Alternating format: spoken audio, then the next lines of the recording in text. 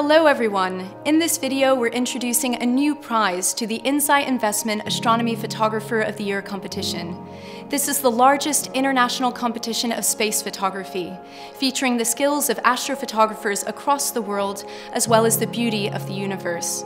You can enter up to 10 images in the competition, which runs from January to March, for a chance to win up to £10,000. In its 11th year, we saw over 4,600 entries to the competition from 90 countries across all seven continents, including Antarctica. This year, we're expanding the competition to new and exciting areas of creativity and exploration with the new Annie Maunder Prize for Image Innovation. This prize is unique. You don't have to be an experienced astrophotographer taking your own photographs of the night sky. Using publicly available images from powerful research telescopes, now everyone can check out and remix the data astronomers use to explore the universe.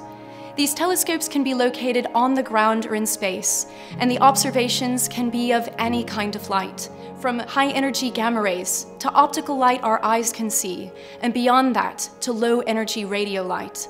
The prize will focus on how you process and innovate the images. You can mix and match different kinds of light to showcase the complex workings inside of a star-forming nebula Combine observations of different scales to show that there is more than meets the eye when it comes to looking at our galaxy. You can even look at the light from gases to show how dynamic and violent the universe is. The possibilities are endless. The only limit is your imagination. This prize is named after Annie Maunder, an astronomer who worked at the Royal Observatory at the turn of the 20th century. Like many women of her day, Annie had to face incredible adversity in order to pursue her passion for astronomy. She was an avid astrophotographer, publishing numerous articles of her astronomy research alongside her husband and fellow astronomer, Edward Walter Maunder.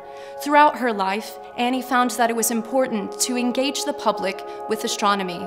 She published some of the first popular astronomy books, which highlighted and showcased her amazing images of space. In honoring the legacy of this amazing astrophotographer and astronomer, we challenge you to take the best that space has to offer, combine it with your creativity, and wow us with the results. In the next two videos, we'll be showing you how to take astronomical data and turn it into a stunning space image. We'll also show you how to search for data from these powerful research telescopes. Thank you to the competition sponsors, Insight Investment, for providing the resources to make these videos. And lastly, wherever you are, we hope you have clear skies.